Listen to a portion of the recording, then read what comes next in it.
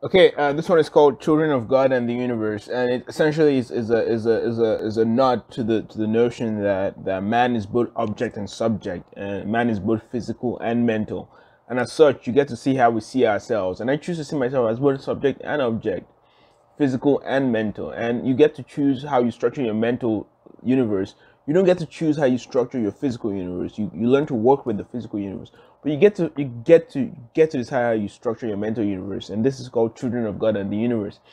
I've chosen to structure my mental universe as as as there's a God, and my God is Jesus Christ, and obviously I need to acknowledge the universe because I'm in it. And so this one is called Children of God and the Universe.